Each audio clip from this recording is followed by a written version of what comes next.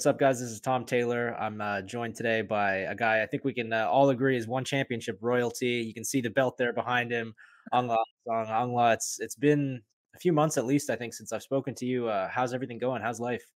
Good, good. Everything is good. Uh, training camp's going well. Just excited to get back and showcase that what I've been working on in the last, you know, in the last half year. Well, you're right in the thick of training camp now. The fight's only a couple of weeks away at this point. Uh, um, you know, you, have known about it for much longer than than than we have. Um, but but how is the training going? And you must be pretty excited for this one.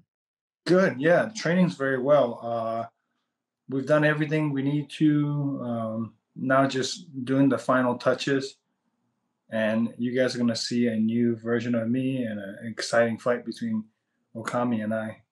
Mm-hmm. This is a fight you were asking for uh, for quite a while. You two kind of went back and forth. You were talking about this fight, kind of crowning the best uh, Asian middleweight, which I think was very cool. Um, you know, this you you could have gotten a lot of different fights, but one gave you the one that you wanted. I mean, how satisfying is that? Yeah, I mean, he wanted it too. You know, he, he he's the one that called me out first, and I'm like, yeah, uh, uh it's it's a it's a fight that I would love to have.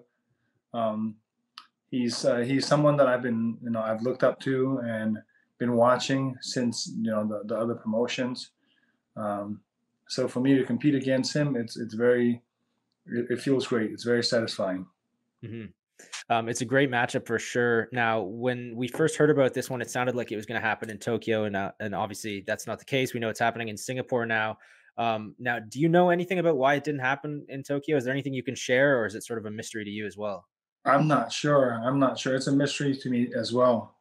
Uh, the the initial belt agreement was for Japan, you know, for for for the for the stadium there, but they a month in they switched it up. So. Mm-hmm. Is that disappointing at all for you? I know you got a lot of love for Singapore. You fought there many times, but I've seen you fight in Japan twice, and it's I mean it's a vibe. It's very exciting when you fight in Japan. Were you disappointed at all? Japan. I was looking forward to Japan, but you know it's going to be very cold in Japan, so I, am okay with that. I'm a I'm a warm-blooded person, so um, in that in that instance, I, am okay with it. Mm-hmm. Fair enough, man. Fair enough. Uh, I can't blame you. I'm up in Canada, as you know, so uh, it's starting to get pretty cold up here. Uh, Florida and, and, and Singapore, places like that, are starting to look pretty good.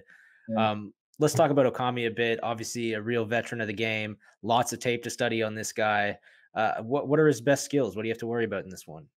Uh, his grappling, you know, his judo, his body locks. Um, he's long he's tall, and and uh, stylistically, that's uh, it's a it's it's not a good matchup for me, you know, stylistically, because the long rangey grapplers are the kind of fighters that I have a harder time with.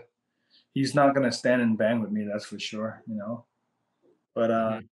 I mean, we, we've we've game planned for him. I mean, I've I've worked with a lot of teammates on him, so it should be good.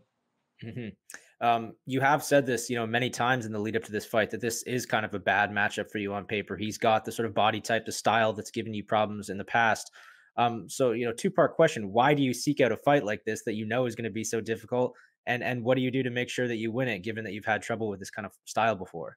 Well, I need to get better. You know, I need to I need to be uh, more well rounded, and I need to be better at all aspect of mixed martial arts. You know, that's the reason why I still compete you know, it's because I want to keep growing and I want to keep evolving as a mixed martial artist. And you know, before I came to Henri Hooft, was, I was more of a grappler too. So, like, I know I've neglected that part of my game, and I, I know with a good camp, like that that part can be sharpened as well. And so for me, it's like the evolution of mixed martial arts, evolution of me growing as a as, as a fighter. You know, that, that's what excites me. That's what gets me up at night. I mean, in the morning to train. So mm-hmm. I'm excited for this.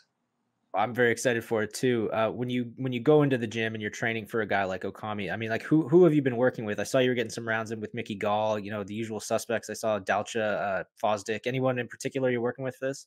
Yeah, uh, Rogan uh, Gracie. Rogan mm-hmm. Gracie is uh, one of them, um, and and Eric you know, uh, Quinn as well. Uh, more of the jujitsu heavy guys, you know, Herbert Burns. You know, these are the guys that I work with. Um, you know, a, a, lot of the grapplers, a lot, a lot, more grappling for this camp. But at the same time, my striking is going to be sharp too. Mm-hmm. It must give you just so much confidence, you know, training at a facility like the one that you do. Just that's just so full of, of top level guys, I guess, right? Yeah, of course. But but at the end of the day, it's it's really up to you.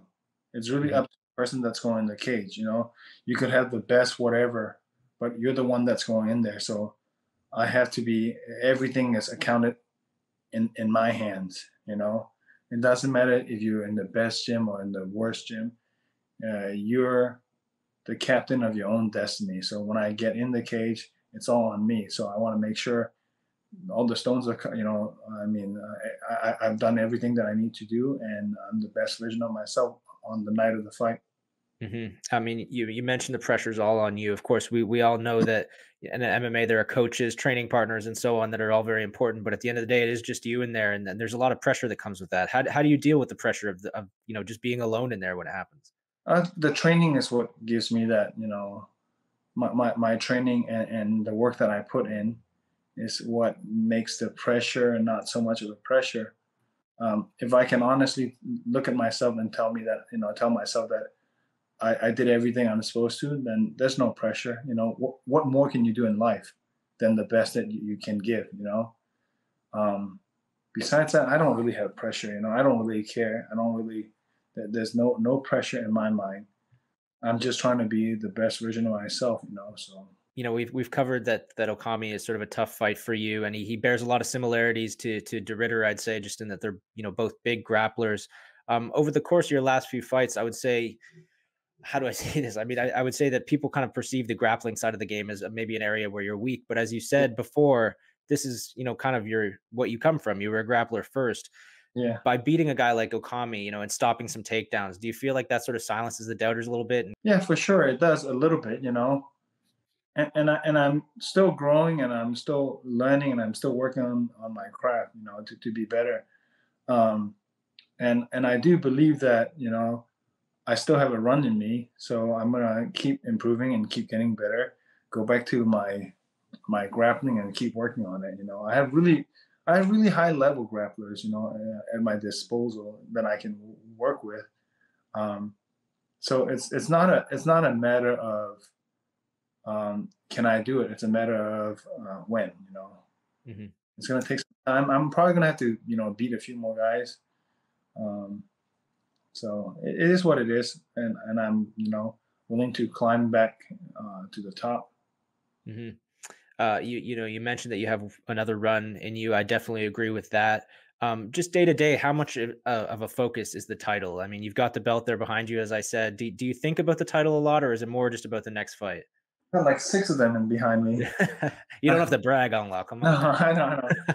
I know. It's it's uh, of course, as, as a as a mixed martial artist, as a fighter, you know, in an organization, that's that's a goal, you know, to get the championship.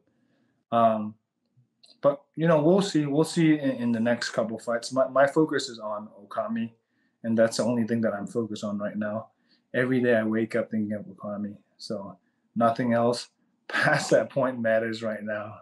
Mm-hmm. I'm sorry if my interview is going to be boring because everything is towards Okami right now. No, that's totally fair, man. Interviews with you are never boring. It's always it's always a total pleasure to chat with you, man. Yeah. Um, well, let's shift gears a little bit. I wanted to ask you, um, De Ridder, I'm sure you saw recently was booked to defend his title against a, a new guy in one championship, someone who had never fought in the organization before. And that fight has since fallen through, but there was sort of a little bit of uh, backlash to that decision from one to give a title shot to a guy who'd never fought um, in one before. What did you think about that? Is that is that fair? Was that maybe not fair? It's fine. I don't care. That's it. Yeah, I, I don't care. It doesn't matter. I don't. Mm-hmm. Um, I mean, ideally, you would want to you want them to prove you know prove it in the organization, but um, it's fine with me. There's so many. There's so there are so many you know great fighters in the world that are relatively unknown. You know, and and you know I just gotta focus on uh, getting better and putting on better shows for the fans. Um, speaking of of newcomers in one championship, I also wanted to ask you about Roberto Soldic, who everyone's very excited about. Um, he's a, a, former two division champion in another organization. You, of course, know a thing or two about being a two division champion. Uh, what do you think of him, and, and how do you think he'll do in one championship? I think he'll do good. I've trained with him. You know, he's come mm-hmm. to uh, when it was Sanford. He's come and trained with us before. He's got a lot of power in the left hand. You know, um, very dynamic striker, good footwork, good fundamentals. Uh, he's got a tough fight too. You know, he's got a tough fight, a heavy grappler, uh, and and a big and a big guy too. You know, for that weight class. So so we'll see. It's his first fight is a big test. If he passes, you know, that big test, I think I think the winner of that one will probably get a title shot, right? Mm-hmm. Yeah, I was going to say, are you surprised at all that they didn't just give him a title shot right away? You know, I know I just kind of questioned giving title shots to debuting fighters, but he's a former two division champion from a big promotion. Yeah. Sort of seemed like that might make sense. Are you surprised by that? Yeah, one one have their own agenda, you know. So it's fair enough. Cool with me. It doesn't doesn't really matter yeah, I usually just assume they know what they're doing when they when they when they do these things. They have a plan. Um, another guy I wanted to ask you about is is Martin, who's uh, on a little bit of a, a skid right now. Sort of hasn't been getting the results that that he wants of late. Um, I would say he's still got the skill and the, the ability to, to, to be a top fighter, but you know, just you know, being that he's on this a bit of a rough patch right now, what do you think the future holds for him? What advice do you offer him as as he finds himself in this situation? He, he needs to come back here and train. You know, come live here in my house and train uh, just clamp down a little bit and train you know? Um, mm. it's it's part of the game you know? These young guys are hungry. These young guys are they're so like they start at, at such a younger age that we're almost playing the catch-up game on our end. So not saying that we can't do it it's just that we got to put everything into it. So it, it would be good for him to come back and train and just you know away from the family a little bit. As much as you know, I don't like him being away from the family, and he doesn't like being away from the family. He needs to make that sacrifice. Um, but a fight is a fight. You know, anything can happen. Uh, you could be the most prepared, and then the night of the fight, it doesn't go your way. You know, but to minimize that, we have to train good, and we have to put everything uh, into into the into the fight preparation. So. Mm-hmm. Have you spoken to to Martin at all since that last yeah. fight? Obviously, it was a tough one. Yeah, no, I talked to him this morning. You know, we talk very regularly. Uh, good, good. You know, a little brother to me. Uh, we're good friends, so we stay in touch. This morning we talked, and he's going to probably come back in a few weeks, you know, and, and get back in camp. Great, great. Uh, speaking of little brothers, your boy Tial is fighting again soon too. He's fighting in, in Manila against uh, Jeremy Pacatiw. I think I'm saying his name right. Uh, thoughts Jeremy, on that matchup? That's a tough fight. That's a tough fight. Mm-hmm. You know, but if you look at Tial, he, he had uh, uh, three relatively, you know, good fights. When, when I say good fights, he's matched up against guys with more fights than him, you know. And then his fourth fight, he goes against like a former Road FC champion, over 20 fights, you know. In my opinion, he won that fight, but it's controversial, right? Mm-hmm. And then he, he, he it's the, the next fight with Sonoda, who also has like about 20 fights. Mm-hmm. he only has four fights, you know, it's it's it's a and it, it went to a no contest because of the low blow, right? So mm-hmm. he's been in a in a I don't know. I, I just need to be there in his corner for the next fight, and he he'll do all right. He'll do mm-hmm. good. Um, but Jeremy is a is a tough tough opponent. You know, a tough opponent and I I believe he was ranked top five, right, at one point. I'm not. I think he was at one point. Yeah. Yeah, yeah. So so now we're in the game now. You know, after we beat this guy, um, if he's if he's able to pull this off, uh, we're in the mix now. So. Um, he, he hasn't had you know the last three fights he hasn't had easy fights at all so mm-hmm. cool man well it's a great matchup on a great card uh let me just wrap it up with a couple more questions here. First and foremost, the question I've been dying to ask you since this interview started the hard hitting stuff you come here for. Where's the mustache? Where's the beard? What happened? The mustache, I don't need it anymore. yeah, you've outgrown it? yeah. My wife, my wife was my wife was bugging me about the beard. So the beard That's, and the mustache. So I was like, oh, okay, it's funny, man. I would say that like 80 or 90% of the time that a beard disappears and then I ask why, it's almost always the wife or the partner uh, that's behind it. now I look 10 years younger. Yeah, you look great, man. It's it's an awesome look. Uh, another uh, hard hitting question for you here. Um, I, am not sure if you're aware of the uh, uh, the strawweight fighter in one championship, Danial Williams. He's a MMA fighter and uh, also Muay Thai. Um, he's a beekeeper. I was wondering if you got any beekeeping tips for him. Any beekeeping? Yeah, yeah, because as a former pro Yeah. yourself. Uh, the pain is worth it. You know, the honey is sweet, so the pain is worth it. uh, uh, honeybees are pretty cool, man. It doesn't it doesn't require much upkeep. You know, it doesn't require much upkeep, and you get amazing product out of it. You know, um, but yeah, of course, it's, it's a little dangerous, so you got to make sure you're well equipped to do the job. But but it doesn't take much upkeep, and it's fun. You know, it's a it's a cool little thing. Uh, unfortunately, right now I don't have a you know I don't have a house big enough or a yard big enough uh, to keep bees, but one day. Let's let's uh, conclude here. Um, big fight coming up. Message for your fans, not just in Myanmar, but but all over the world. um, tune in. Uh, it's going to be a fun fight for the fans.